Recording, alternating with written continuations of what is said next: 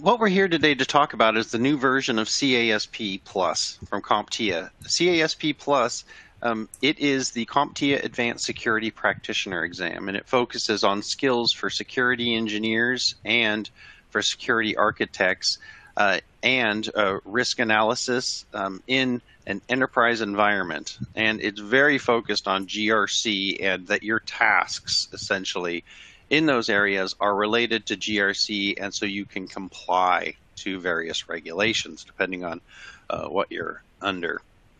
Um, and so when we are going to revise these exams, we want to look at the industry and we want to see what is the industry looking like? What changes are impacting the skills of those two job roles that I mentioned, security engineer and security architect. So we do a lot of research. Um, many of you know CompTIA issued a 21 or a 2021 uh, state of cybersecurity report. I suggest uh, everyone read this um, because it talks about uh, some of the main architectures of zero trust, and those components are found in CASP plus. We looked at the growth first of all. The IT industry is still expected to grow you know 10% in the next five years, and that's enormous growth for a global industry. And so the growth is due to companies continuing to be aware of the amount of money uh, you can make uh, in IT. And so, as long as businesses are using IT, we're going to have to have strong cybersecurity to protect those business systems. Um, we, the areas of growth, we're looking at those zero trust architecture concepts. If you're not familiar with them, it's basic. Zero trust um, architecture, let's call it zero trust methodology. It's a way of thinking zero trust. And it's essentially you don't trust anything on your network. I don't even trust the wireless connection from my laptop, you know, to my wireless router. You have to assume nothing is secure. And this is a really great way to look at uh, cybersecurity because, among other things, you focus on end to end security. And so we looked at the need for this endpoint security and VPN security measures. Also, you know, you have the ability now to do uh, to run thin clients out of the cloud using all the main services. And so you find smaller MSPs now that are simply, you know, running thin clients um, uh, from Azure and so it's uh, really made it simple. It's going back to the old mainframe. Remember, um, well, back in the 70s, this is even before my time. Uh, with mainframe computers, you had a mainframe, and then you had these dumb terminals that basically just accessed the main brain. Think of it, we've gone back to that. It's just the main brain. That mainframe is in the cloud now, and you're just controlling the thin clients from there excellent model. I talk to MSPs; they're doing it every moment because that gives you the endpoint security we're talking about.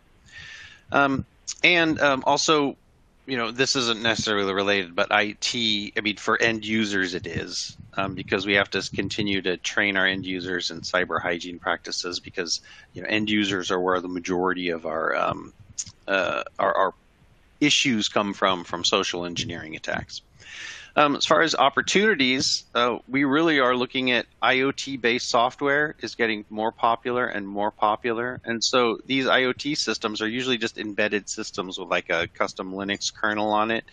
And so, you know, as these are out there in the field, we have to make sure that we're managing them through uh, management, um, you know, or from uh, mobile device management techniques um, and and make sure they're secure. Make sure we can push out updates to them. That's you know been a problem with IoT for many years, and it's still a problem, and that's why there's opportunities here for it.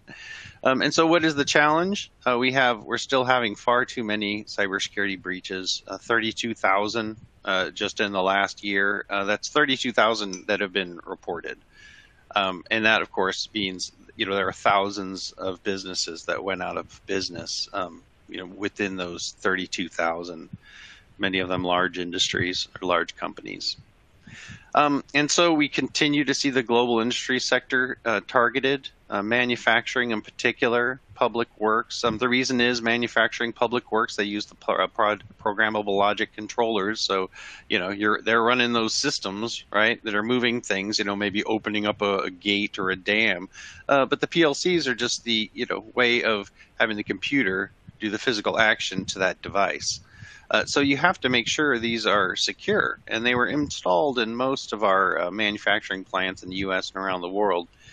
Um, they were SCADA systems, um, and they're um, you know the PLC systems that uh, essentially what they are, and you know we have to make sure we're securing those because those PLCs, this uh, this stuff manufacturing man it's used for our public works system, our nuclear power plants. So one of the people that helped us with this actually helps with the uh, uh, protect the United States public infrastructure, including nuclear power plants. So we have that expertise in here.